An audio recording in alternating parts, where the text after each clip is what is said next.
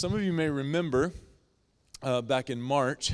You guys remember March? It was cold. We had the snow in April. You guys remember all of that? Okay. Um, but in March, we took a group of people uh, down to uh, La Romana, Dominican Republic. And uh, we, we partnered um, down there with a guy named Graviel.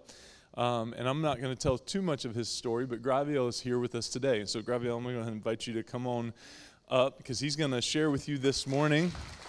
Um, but also uh, challenge us this morning. That was, that was well done, brother.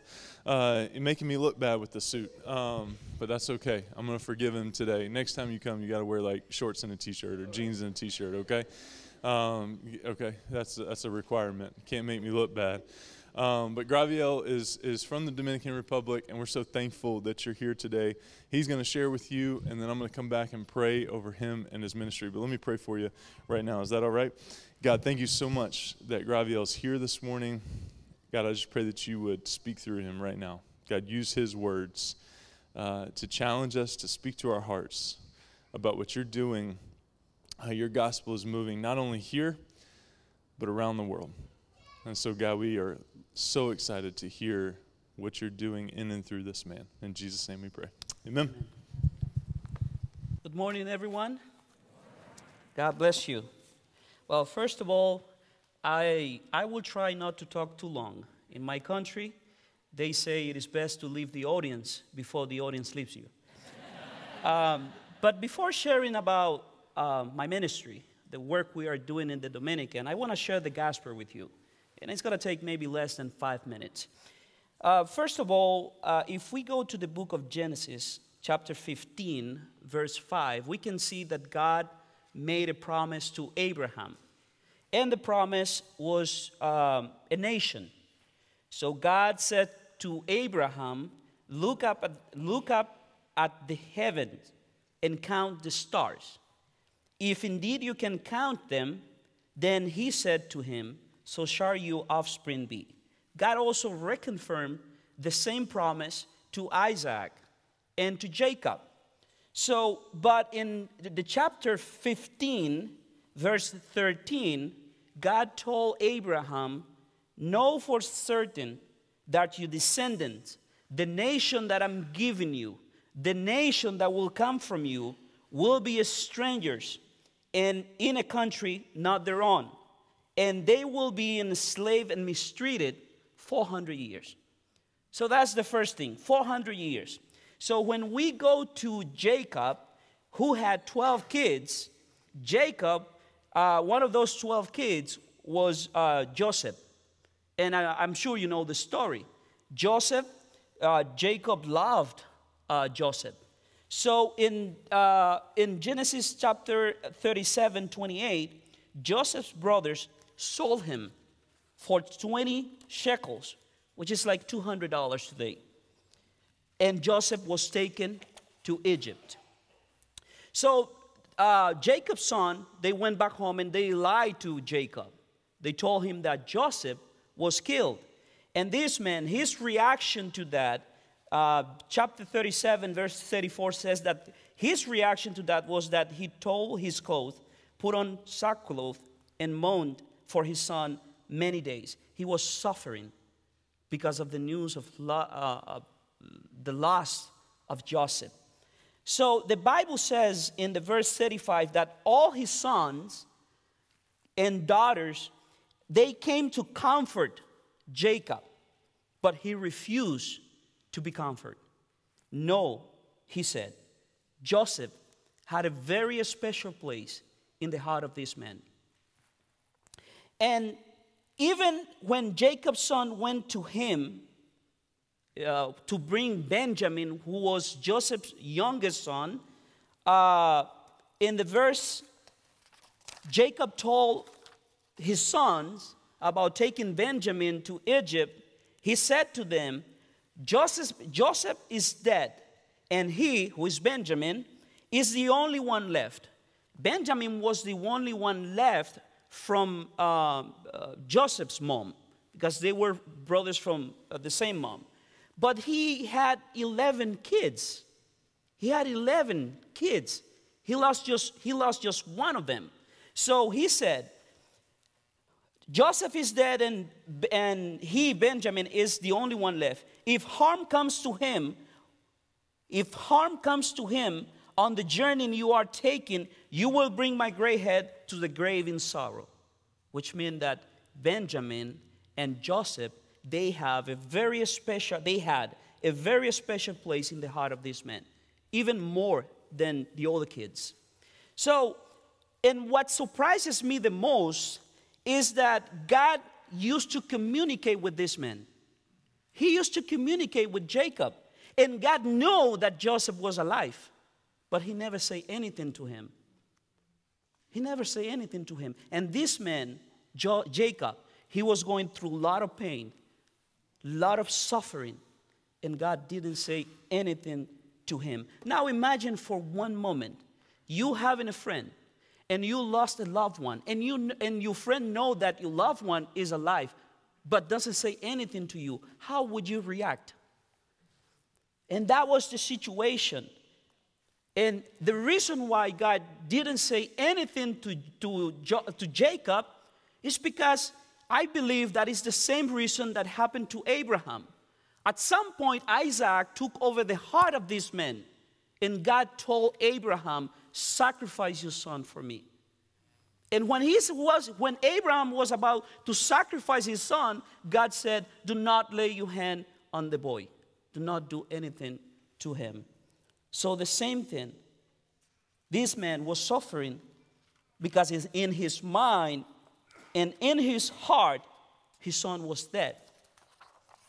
And what I can say about that is that no one can take over your heart but God. No one, you cannot, we cannot allow anything or anyone to take over our heart. The Bible says, Love the Lord with all your heart. God has to be the first one in our heart. We cannot have a son in our heart. We cannot have a wife, a husband, a car, money. God has to be the first one. So in Matthew chapter 6, verse 21, the, uh, the Bible says, For where your treasure is, there your heart will be. So, my question is, what is your treasure? Is your treasure a job? Is your treasure your family?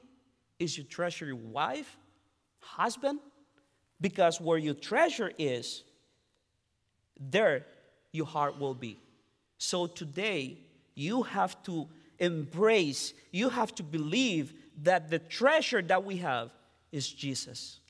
And once we realize that He is our treasure, then there our heart will be, and we will see things differently. But there is something in Genesis chapter 46 2, God spoke to Jacob, and He said to him in verse 2, the first thing that He said to him, He called Jacob, Jacob, and He said, I am God which mean dominion over all things, which mean the source of power, which mean sufficient. When he says, when he said, I am, he is self-sufficient, self-sustaining, the God who was, the God who is, and the God who will be. So I am God, which means you have to believe what I'm about to say. So in the verse uh, 2, he said to Jacob, and that was God talking to Jacob, he said, Do not be afraid to go down to Egypt. It's a little complicated because in Genesis chapter 15, he said that the nation will be mistreated and the nation will be enslaved in a country that is not their own. And now you're telling me, don't be afraid to go down to Egypt? Doesn't make any sense, right? But there is something more special. In verse number four, God says, I will go down to Egypt with you. It doesn't matter if we have to cross the river of pain. It doesn't matter if we, have, if we are going through a lot of pain. God is with us. He will go with us. It doesn't matter if we see our country divided. It doesn't matter if we lost our job. We have to believe that God is with us. And that's why he, in the verse one, he told Jacob, I am God. That's the first thing you have to understand. And I know it's hard, you know, when you are not going through the situation to say, God is with me. But when you are going through the situation, it's hard to believe that God is with you. But He is indeed with each one of us. And we have to believe that. And we can never forget that even though I walk through the valley of the shadow of death, I will fear no evil, for you are with me. And we have to embrace this reality. Do not fear, for I am with you. Do not be dismayed, for I am your God. God is our God, and He will uphold each one of us with His righteous hand always. And there are three things that I want to I want you to keep in your heart from this. First thing, do not allow anything or anyone to take over your heart. You have to allow only God to control your heart. Because when you allow God to control your heart, you will know how to love unconditionally. There are many types of love, but God's love is unconditionally. That's why He has to control our heart. Second, sometimes we might not get answers from God. And that doesn't mean that God is not with us. Jacob went through a lot of pain because he thought that his son was alive and God never say anything to him. Sometime, and I know nowadays we have more questions than answers. I know. And sometimes we, don't, we, will not, we will not get an answer, but we have to keep believing. We have to believe that He is with us, even if we don't have an answer from Him. And last, God has been with us. God is with us, and God will always be with each one of us. God bless His word. I'm, I'm going to pray just for one minute, and then I'm going to share about my life and ministry just for five minutes. Padre, gracias por tu amor, por tu misericordia y por el privilegio de estar aquí, Señor. Te, te pido que tu palabra pueda abrir sus corazones, Señor, y puedan entender que solamente a través de usted tenemos vida, Señor. En el nombre de Jesús. Amén. Now, about my ministry. I was born and raised in, in the Batey. Batey is our communities within the sugarcane fields where Haitians and their descendants live. Now, I come from a big family.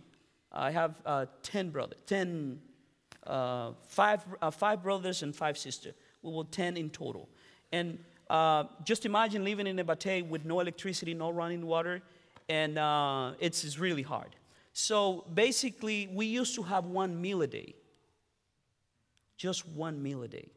And uh, so one day I went to the school, went back home, and um, there was no food at home. And uh, the, the, I went to the train station to, uh, to grab some sugarcane, which is sweet. And uh, I was only six years old. So when I went to the train station to grab the sugarcane, I fell onto the railroad tracks. Unable to move, I was run over by the train car, and I lost my entire right leg.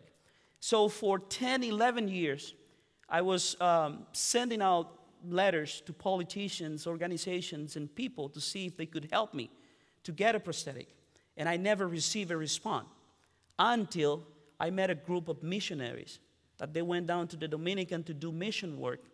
And uh, with the collective support of many, I was able to come to this country for the first time at the age of 16, I believe 16, 17, and I was fitted with my, uh, with my first artificial leg, which changed my whole life.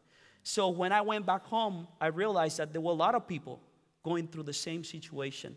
And that's how God put in my heart to, uh, to build this ministry, Centro de Prótesis, so a prosthetic and physical therapy center uh, to help people that have lost either upper or lower extremities. But also with the uh, counseling support. Most of the people that go through uh, amputation, they go through what we call uh, psychologic issue. And we help with the physical therapy. So from 2017 that we started, the first 2017, we were able to help 45 people. Uh, 2019, 107.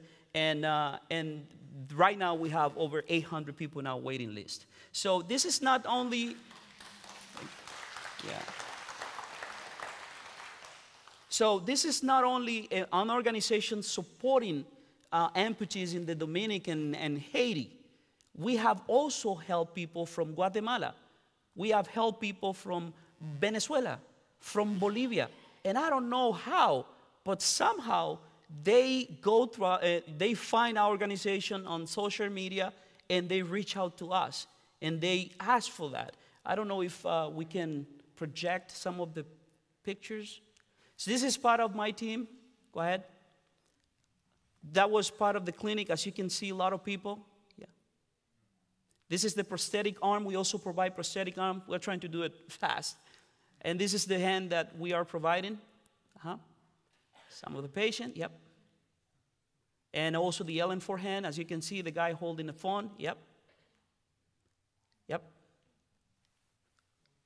Yep. So you will, okay, you can play the video, please? Okay. She, she is from uh, Puerto Plata. Okay, keep going. We were able to feed her with two prosthetic. Go ahead. And she's walking for the first time. All right, keep going. This is another patient.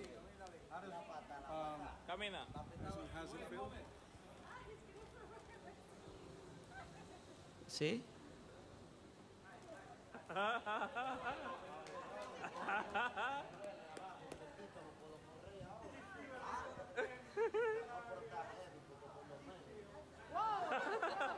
okay. Next. All right, next. Next. That's the physical therapy. Yes? That was the patient we held from um, Guatemala, seven years old. All right, next. This is from Bolivia. Next. And we, besides helping with prosthetic, we also help special needs kid with food. But you're not going to see those pictures on social media because we try to respect people's dignity. Go ahead, yeah? So I don't believe in politicians. But um, many years ago, I sent an email to the mayor of La Romana uh, explaining who we are and asking them to donate a land to build our center. And the land was donated. So, next, we had the groundbreaking. Next, volunteers helping building the center. Next, and this is how the building looks like at this moment. Next. Yeah. Next. And one of the things that we do to uh, support the construction is to promote uh, a book about a guy named Graviel who came from a batey, lost his leg, and now he's trying to pay it forward to help others. So this is a way of supporting the organization with the construction. It's uh, uh, selling the book, uh, like I keep saying, this is my story, and I don't know why I keep reading the book over and over. So go ahead. And this is how um, social media and all that. Um, so I'm done with the mission and all that. But before, uh, I think, less than 15 minutes, right? all right. So, but before uh, closing this time, I want to take a moment because when I was growing up in the Batey, I had no chance, I had no hope, and I met uh, some missionaries. And I'm so happy uh, some of them are here with us today. So, the first missionary that I met in La Romana, his name is Josh. When I met him, I didn't know how to say anything in, this, in English and he didn't know how to say anything in Spanish. So he used to pick me up in a truck, and I used to be with him all day long. And it was like he looked at me, I look at him, nothing. Yeah. so at some point, he told me, eh, if you want to learn English, you have to talk. You have to talk. All right? So I was able to learn some English, and I went to visit him a couple of years after that. And then I started to ask him so many questions, and he told me, You need to shut up. So, so Josh, would you please stand up? And Tina. So he was the fir- one of the first missionaries that I met in the Dominican Republic. And um, through Josh, I met Debbie. Debbie, would you please stand up? And Stephen, please stand up. Those people believe in me.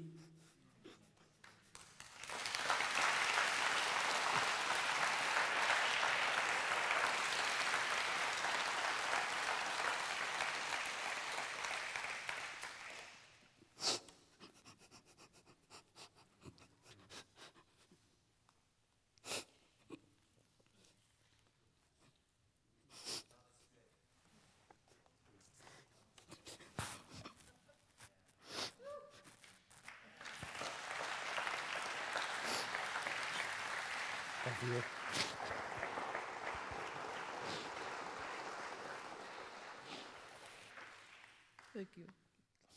Thank you. They, they gave me hope. They gave without expecting anything. I was only 10 years old when I met them.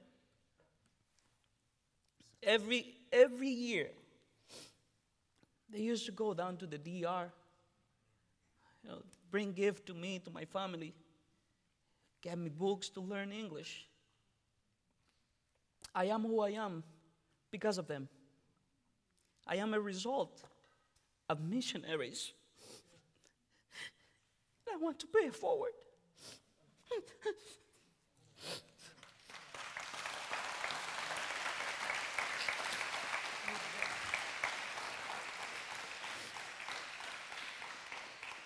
so I want to thank them Josh, Tina, Debbie, Stephen, Christy, many other people's, people who you might you don't know, but I want to honor them in front of the church, and I want to thank them for believing in me, and for investing in me, and today you can see the result of missionaries. And, and what we have gotten from it. Thank you. It's uh, unbelievable knowing him, even though we may have given, he has given as well. And Debbie and I both have known him for a long time, and he's been there, always with Jesus, always with Jesus on his heart, and always uh, trying to make himself better. And he, look at him today. Look at his clinic. And, and you guys are thinking on, maybe and hoping, going to support that. And, and it, it, like I said a minute ago, it's not only just helping people with prosthetics or food, it's Jesus that's driving it. And that's the bottom line. And Praise the Lord. We're going to pray, Josh. Why don't you stay up here? Um, that's awesome. Uh, can we just give Graviel and his ministry one more hand?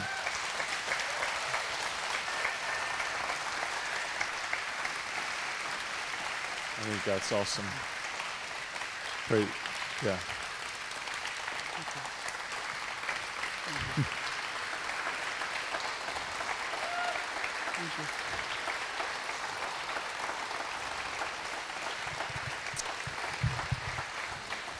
Jim, if Jim and Karen, if you guys will come up, um, and we're gonna we're gonna pray over them and their ministry. A couple things. Um, I always like to tell missionaries, don't worry about being the shoe salesman. I'll do that for you.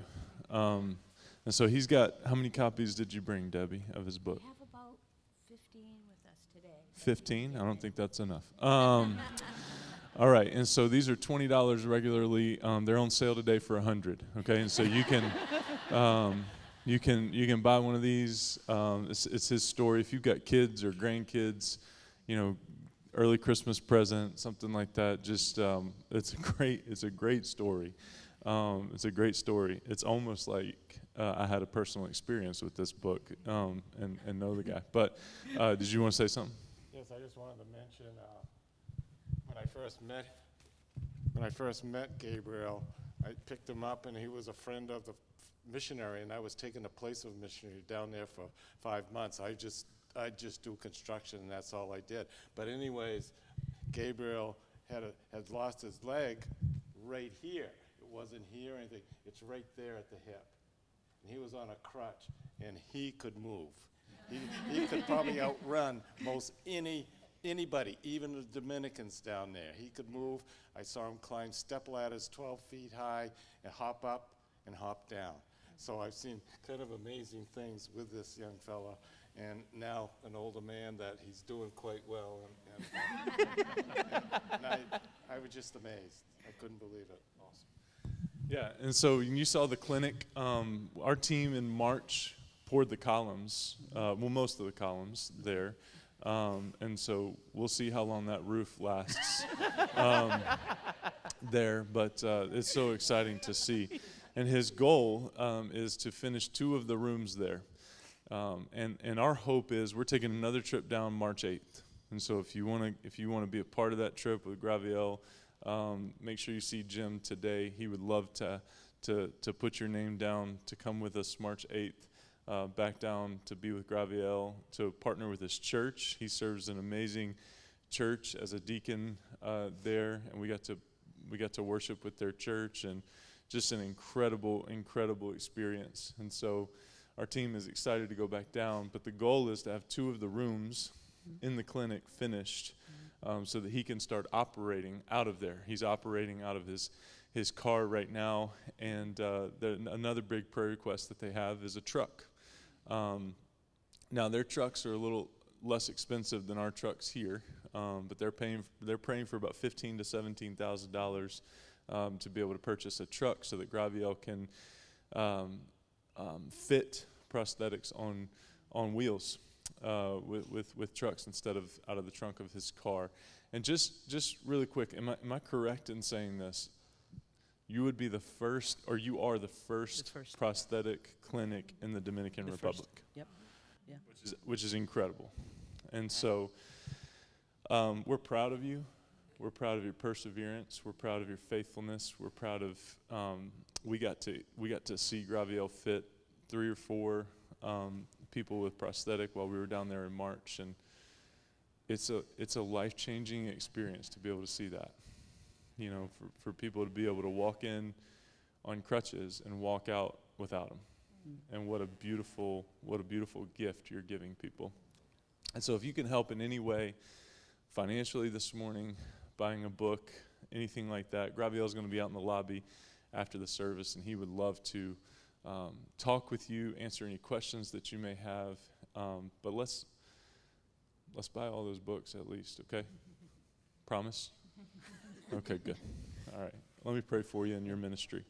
God, thank you so much for Graviel. Thank you for, God, just his willingness to come, his willingness to uh, leave his life in the DR, to come to the States, to meet with Summit, to meet, to go down to Georgia this week, to meet with a bunch of people and try to raise awareness and support for what we believe you're doing in the DR, uh, both in him, this clinic, his church, um, everything he touches. And God, I just pray that you would expand his territory. God, I pray that you would grow his ministry.